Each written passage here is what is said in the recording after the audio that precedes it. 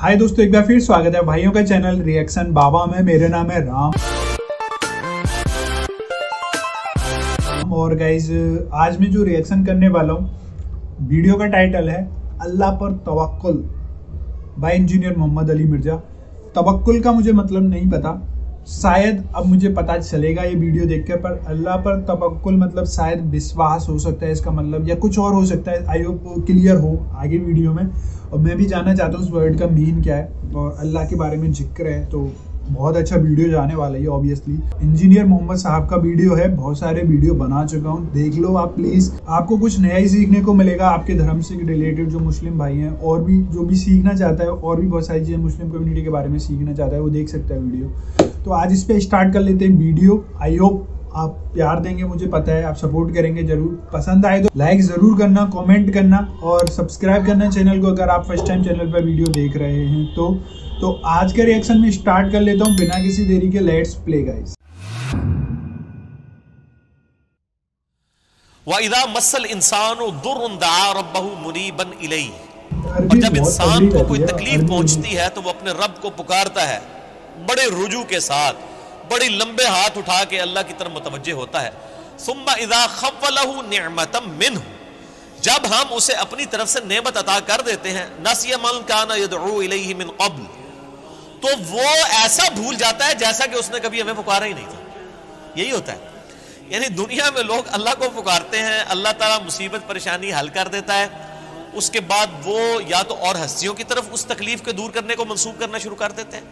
या वो कहते हैं जी मेरी तो प्लानिंग ही बड़ी चंगी थी। देखो ना मैं उस टाइम बड़ा मनु समझ आ गई थी क्या होना है तो मैं कर लिया तो अल्लाह बंदा जितनी मर्ज़ी समझ आ जाए। अल्लाह के सामने तो इतने फैक्टर्स हैं सही बात है। कि किसी भी इंसान को किसी भी वक्त वो आने वाहिद में हीरो से ज़ीरो और ज़ीरो से हीरो कर दे। उसके लिए कोई मसला है? यानी इंसान की सारी की सारी प्लानिंग्स धरी रहती जैसा कि मौला अली रज़ी अल्लाह सलाम का कौल है कि मैंने अपने इरादों के टूटने से अपने रब को पहचाना है। इनमें पूरा इरादा कर लेता हूँ। सारे के सारे सर्कमस्टांसिस फेवरेबल होते हैं मेरे लिए। डन अचानक पता ही नहीं चलता कि ये क्या हो गया। ऐसा हो जाता है मेरे भाइयों। और यही चीज़ें बेसिकली अल्लाह ताला अपना आप इंसान को दिखाता है कि कोई शख्स अल्लाह ताला से कभी भी आज़ाद नहीं हो सकता। हत्या कि आप देख लें, सूरतुल काफ में आया कि ए नबी इस्लाम कभी ऐसा ना हो कि आप ये एक बात कहें कि मैं कल ये काम करूँगा और आप इंशाला ना कहें। ऐसा कभी नहीं होना चाहिए। इंशाला के साथ कहना है। अगर वक्त के पैगंबर को ये बात मैंने सुना है लोग इंशाल्लाह बोलते हैं मतलब जो हो जाए वो काम शायद इसलिए। कि आपने कभी मुस्तकबिल के बारे में इंशाल्लाह के बगैर बात नहीं करनी। कभी नहीं करना है मैं काम करूँगा। मगर ये कि इंशाल्लाह माशाल्लाह के साथ। क्योंकि इंसान तो सिर्फ़ इन फैक्टर्स को देख रहा होता है ना जो आपके सामने। हमने कई बार चीज़ें देखी हैं हर फैक्टर काउंटर करते हैं। मेरे जैसा तो वह भी बंदा कोई शायद छोड़ता ही नहीं है। फिर भी कुछ कोई ना कोई पाक निकल आती है बिचू। क्यों निकल आती है? इंसान कभी आज़ाद नहीं होता। अल्लाह से उसकी तकदीर से कभी आज़ाद नहीं होता। इसीलिए अलहमदुल्ला अरसा दराज से हम अपनी पूरी एफर्ट करके उसके बाद अल्लाह पर ही तवक्को रखते हैं। और मैं यानी जितना अपने दुनियावी मामलात में या दीन के काम में रिसोर्स को मैनेज करने में वहम हूँ ना। इससे ज़्यादा मैं अल्हम्दुलिल्लाह अरसा दराज से अल्लाह के बारे में वहमी हूँ कि जब कुछ मैं सब कुछ कर लेता हूँ ना और मुझे सबसे ज़्यादा जिस चीज़ की टेंशन होती है ना, वो अल्लाह की होती है कि अल्लाह ताला को रुकावट ना डाल दे। अल्लाह की तरफ़ मुतवजह रहता हूँ हर मामले में। और इसका मैंने फिर पॉजिटिव रिज़ल्ट देखा है कि मेरे बिगड़े हुए काम, जिसमें मैंने कई चीज़ें ओवरलुक की हुई होती हैं, वो फिर अल्लाह ने संभाली होती है। वो खुद ब खुद रिजॉल्व होनी शुरू हो जाती हैं। पता ही नहीं चलता कि कहाँ कहाँ से अल्लाह ताला मामलात को सीधा करता है।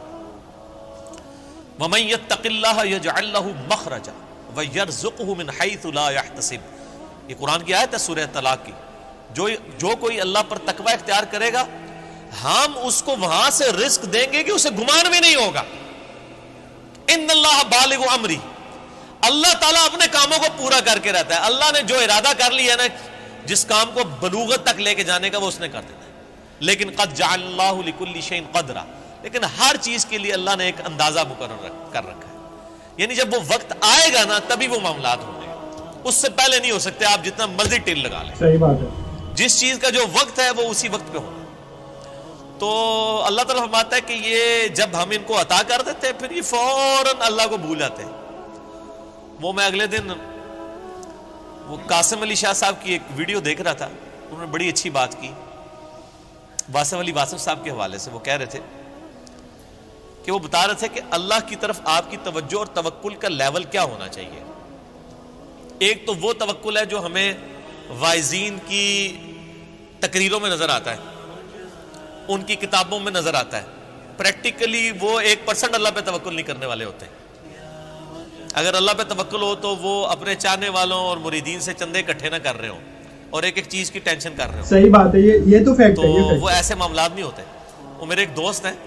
ये वाक्य आपने याद रख रहे मैं दोबारा आपको कासिम अली शाह वाला बाद में सुनाता हूँ मुझे एक और वाक्य याद है मेरे एक दोस्त हैं तो वो कहते हैं कि मेरे साथ एक पीर साहब के बेटे जो है ना, वो कॉलेज में पढ़ते थे। तो वहाँ पे काफ़ी वो उर्स वगैरह लगता था, बड़े दूर दराज से लोग आते थे।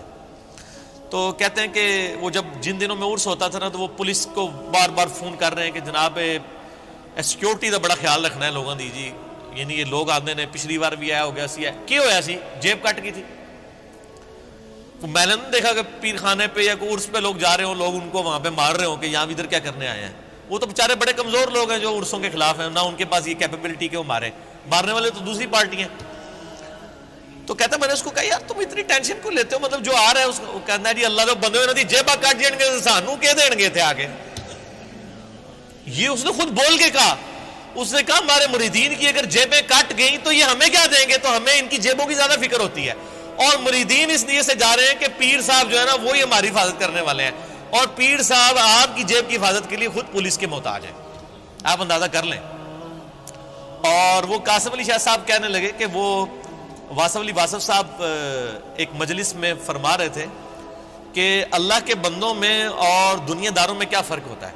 वो कहते हैं, अल्लाह के बंदे जो होते हैं ना, उनको कोई अगर पत्थर भी मार देता है ना आके तो उनको पत्थर मारने पर भी गुस्सा नहीं आता। वो ऊपर देख कहते हैं अल्लाह, खैर है, वो गलती होगी। क्यों? ये हकीकत बात है कि फ़ाइल हकीकी अल्लाह है।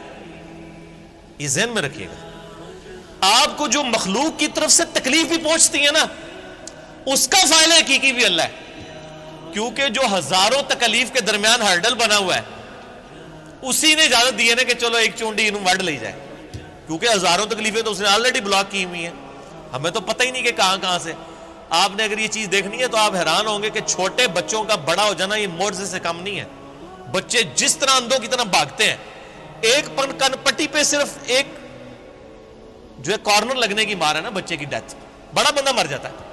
किस तरह बिस्तरों से गिरते हैं जाके कभी कहीं गिरते हैं सीढ़ियों से नीचे गिर जाते हैं कहीं जाके लगते हैं कभी कुछ टूट जाता है कभी इधर आके करीब बंदा कहता है शुक्र है जी बस नेड़े ही नेड़े बचे हाँ। अल्लाह ने बने अल्लाह ने बचाया होता बात। हमेशा ही बात जाता है बंदा। सही बात सही बात। कितने बच्चों की आँखें निकल जाती हैं बचपन में? वरना तो आधे इधर जो है वो काणे बैठे हुए हो। ये अल्लाह ने बड़े किए होते हैं। ये अल्लाह कुरान पाक में आयात है। अल्लाह फरमाता है कि हमने फरिश्ते मामूर किए हुए इंसानों की हिफाजत के ऊपर। ये सारी चीज़ें अल्लाह लेके चल रहा होता है। लेकिन अल्लाह माता जब हम तकलीफ़ दूर कर देते हैं फिर कहते हैं ये तो कोई कह देता है बुज़ुर्गों ने किया है।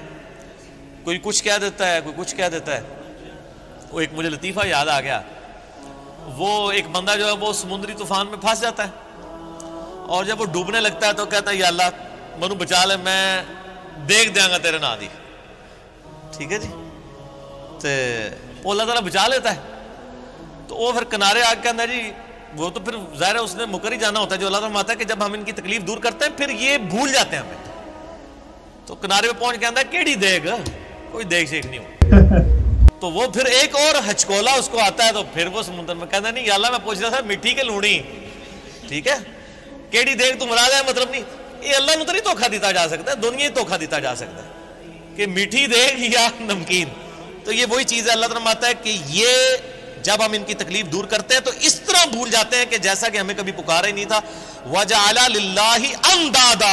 और अल्लाह के मुकाबले पे और हस्तियाँ खड़ी कर देते हैं कि ये इन्होंने किया है। बच्चा अल्लाह ने दिया होता है, कहते हैं, नहीं, वो उनकी वजह से हुआ है। लियो दिल सबीली, ताकि बहका दें अल्लाह की राह से। हकीकत बात है कि ये शैतान इंसान के दिल में ये वसवसा डालता है कि ये फलां की वजह से हुआ है। आप हिंदुओं के पास चले जाए, वो भी यही क्लेम करते हैं कि जी हम फलां मंदिर में गए थे तो हमें औलाद होगी। हालाँकि अल्लाह दे रहा होता है। लेकिन शैतान जो है वो एंड टाइम पे ऐसा वसवसा डालता है कि इंसान और हस्तियों की तरफ़ इसे मनसूख करना शुरू कर देता है। हमने तो कई ऐसे देखे हैं जो लोगों को बच्चे दे रहे हैं लेकिन खुद बे औलाद होते हैं। उनको क्या, आप क्यों क्यों नहीं औलाद हो रही है? सूर्य शूरा का आखिरी रुकू पढ़ लें। अल्लाह फरमाता है, अल्लाह जिसे देता है, बेटे देता है, जिसे चाहता है, बेटियाँ देता है। जिसे चाहता है, दोनों देता है, और जिसे चाहता है, महरूम रखता है। नबी इस्लाम की सिर्फ़ एक बीवी है, जिससे औलाद है, सईदा खतीजा से। या एक मारिया किब्तिया से सईदना इब्राहिम इस्लाम पैदा हुए, वो भी फौत हो गए। बाकी आपकी सारी बीवियाँ बे औलाद हैं। क्या नबी की बीवियों की ख्वाहिश नहीं थी कि उनकी औलाद हो?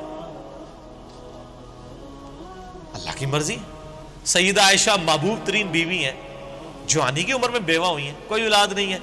अल्लाह उनको एक बच्चे ही दे देता कि हजूर के बाद उन्होंने सैतालीस साल तक ज़िंदा रहना था कि चलो उनकी एक दिलजोई का मामला हो जाता कि अठारह साल की उम्र में बेवा हो गई हैं। एक बच्ची बच्चा होता तो उनकी ज़िंदगी भी उसके सारे गुजर जाती। नहीं, ये अल्लाह के फैसले कुल तमत्ता कुफरी का कलीला अल्लाह का इस पे गजब देखें। अल्लाह फरमाता है, नबी इनसे फरमाइए कि ये जो तुम कुफर कर रहे हो ना और ये जो लुत्फ उठा रहे हो हमारी नेमतों से कि तुम्हें हम कोई नेमत देते हैं तो तुम और हस्तियों की तरफ़ मंसूब करते हो, उठा लो थोड़ी देर के लिए दुनिया की ज़िंदगी में। इन का मिन नार। फिर तो तुम मरने के बाद दोस्तियों में ही शामिल होगा इंसान। ये सिंगुलर के सीगे से ना एज ए डॉक्ट्रेन ये लफ्ज इस्तेमाल हो रहा है कि तू उठा ले जो कुछ तूने नफा उठाना है दुनिया की ज़िंदगी में। तू मंसूब कर ले मखलूक की तरफ़। फिर तूने मर के ना हमारे पास जब आना तो आग ही तेरा मुकद्दर होगी। दुनिया में तूने जो कुछ करना था वो कर लिया। सही बात है भाई, ये चीज़ तो है यार। मतलब लोग भूल जाते हैं, अल्लाह पर तबक्कुल का मतलब मुझे समझ आ गया आई आयुब आपको भी समझ आ गया होगा। कि अभी जैसे इन्होंने एक एग्जांपल दिया, बहुत सारी चीज़ें रहती हैं कि हम बोलते हैं पहले कि अगर हमारा छोटा मोटा एक्सीडेंट होता है तो बोलते हैं कि भगवान ने बचा लिया, अल्लाह ने बचा लिया। गुरु जी ने बचा लिया, जो भी हम बोलते हैं, जो अलग अलग धर्म को लेकर क्योंकि ऊपर वाला सबका एक ही है, क्योंकि सब बुक्स में लिखा हुआ है, सब एक है। अल्लाह, भगवान सब एक है। सबका अपना अपना धर्म अलग अलग हो गए तो सबके अलग अलग भगवान हो गए, सबके अलग अलग अल्लाह हो गए, ये सब चीज़ें पर लोग पहले कुछ बोलते हैं, बाद में कुछ बोलते हैं, फिर पीछे की चीज़ें भूल जाते हैं। फिर भगवान, अल्लाह उनको याद दिलाता है कि भाई, ये सब जो तू कर रहा है ना, ये मेरा ही है। क्योंकि अगर मैं चाहूँगा तो वही होगा, ये सच बात है गाइज़ मतलब आप लोग कितना भी वो कर लो क्योंकि बहुत सारे लोग हैं, कुछ भी मांगते हैं पहले उनसे, उनको वो मिल जाए। जैसे किसी ने शोहरत, दौलत, कार, गाड़ी, बंगला, अच्छी बीवी, कुछ भी मांगा है, वो उसको मिल जाता है। ऊपर वाले के रहम से, ऊपर वाले की कृपा से तो फिर वो बाद में उसको भूल ही जाता है। लेकिन फिर वो चीज़ें धीरे धीरे डिसमेंटल होती हैं, ख़राब होती हैं, फिर उसको याद आता है कि यार, ये तो मतलब मैंने उनका शुक्र नहीं करा, क्योंकि ऊपर वाले ने मुझे दिया, फिर मैं लेके भूल जाता हूँ। मतलब एक वो चीज़ रहती है जो कर्जदार जो इंसान रहता है ना, जो कर्जा लेता है पहले तो जब वो कर्जा लेने के लिए आता है, पहले हाथ, पैर सब कुछ जोड़ लेता है, नाच लेगा आपके आगे, लेकिन देते ही फिर वो भूल जाएगा।